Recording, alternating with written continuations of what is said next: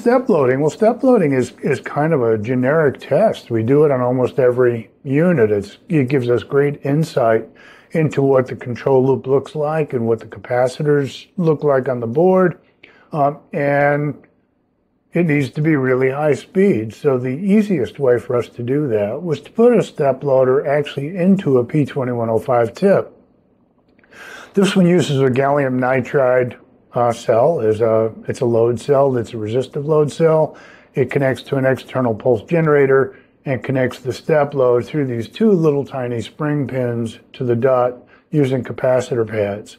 It's an extremely fast step loader. The step itself is approximately 140 picoseconds, getting through the pins and through the printed circuit board, typically ending up at around one nanosecond. So whether you want to do step loads or you want to do voltage ripple measurements, you want to make measurements on your BGA, you don't want to have to solder SMA connectors, whatever it is that you want to do, there's a P2105A tip that'll do it.